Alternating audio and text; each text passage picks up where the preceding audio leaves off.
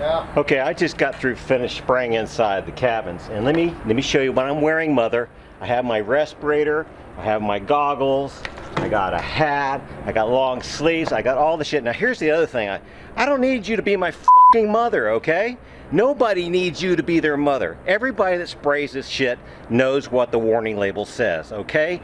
Let us make the decision about what we're going to do with our lives and lungs. You can go take a flying leap, okay? If you unsubscribe from my channel because you're pissed off about this, fine, unsubscribe. I don't want your kind of advice anyway, okay? I had a mother.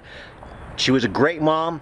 Don't have a mother anymore. That's just perfect for me. That's the way I want to live my life. Nobody else in our society needs you to be their mother either, okay? I am fighting the war against people being mothers when they don't need to be mothers, okay? Now, if you're a mom, okay, be a mom, okay? I had a great mom.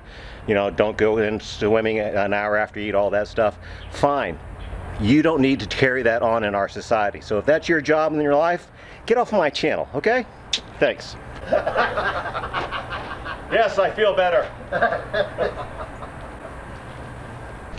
no. Yeah, that's a good thing. Let me try and rephrase what I said before a little kinder, slightly kinder. The world is full of cowards and wimps and pussies, and we don't need to go around encouraging them. The people we need to encourage are the ones that are stretching to change themselves, to make a difference, to step out onto the edge, to do something that where they're probably going to fail. Those are the brave people in the world.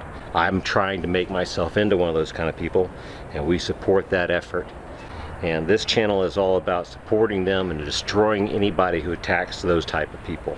And so uh, we're at war. The enemy here is the ones that want to tell you that you can't do it, the ones that tell you how to do it, that you're doing it wrong, and they're doing that because they're not doing it themselves. And they're afraid of what you're doing. You threaten them by your achievements because they're too afraid to fail. They're cowards.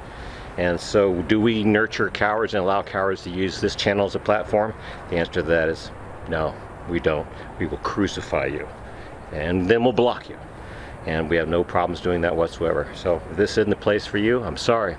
Because, you know, you only live life once and you ought to make the most of it. And if you're afraid of it, you're gonna die without your dream being fulfilled. That's too bad.